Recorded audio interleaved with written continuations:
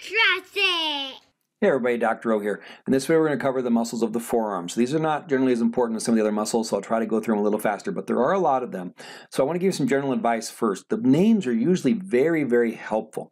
Uh, so the flexors. So flexors are going to usually be on the front of the forearm and they're going to flex the wrist, whereas extensors will be on the back. But then you can get other tips. So like if you see like uh, uh, the first one we're going to cover is the flexor carpi radialis. Well, flexor tells you it flexes.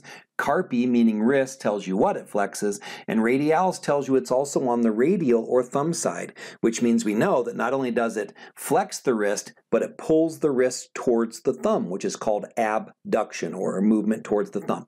So that's the first one, the flexor carpi radialis, flexion and abduction. So if you're in the anatomical position, I can't show you, you know, abduction would be moving your, uh, your hands towards your thumb. So flexor carpi radialis, flexion and abduction of the wrist.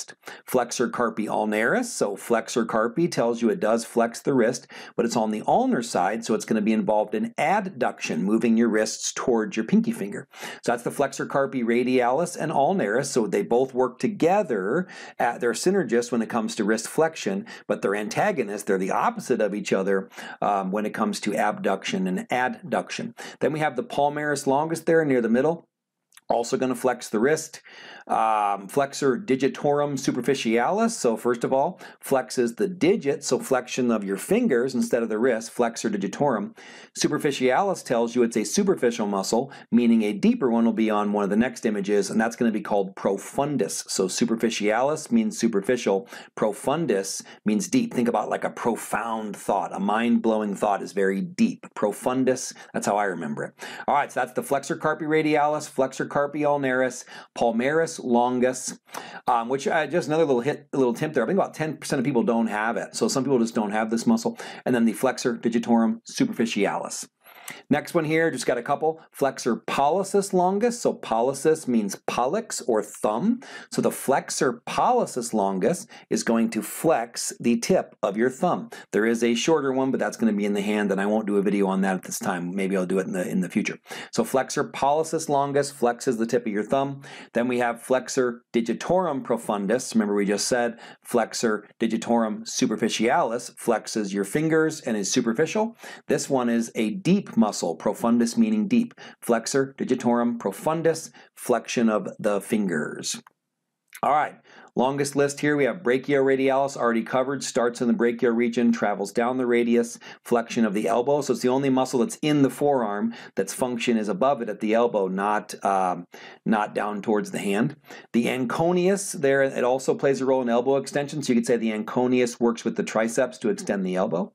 Then we have the extensor carpi radialis longus. So it extends the wrist, extensor carpi. It's on the radial surface, so it's involved in extension and abduction towards the thumb. And then it's the long one, which means there's going to be the next one, which is extensor carpi radialis brevis. So longus means long, brevis, think brevity, think brief. Brevis means short. So extensor carpi radialis brevis, same function, it's just the shorter muscle of the two. So extension and abduction towards the thumb.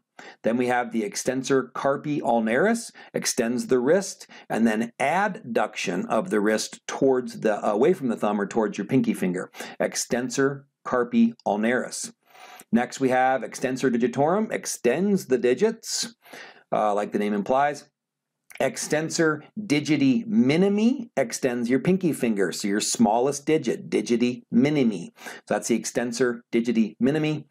Abductor pollicis longus, remember pollex means your thumb, so the abductor pollicis longus abducts the thumb, takes the thumb away from the rest of your hand extensor pollicis longus and extensor pollicis brevis. Remember the longa, longest will be the long one, brevis means briefer, short will be the shorter one. Both of them extend the thumb.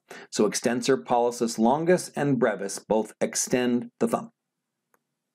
Last one here we have the supinator, which like the name implies is involved in supination.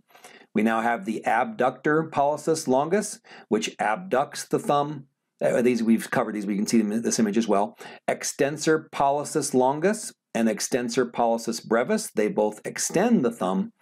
Flexor digitorum profundus, so it's so deep you can see it on the other side of the arm. Flexor digitorum profundus will flex your fingers.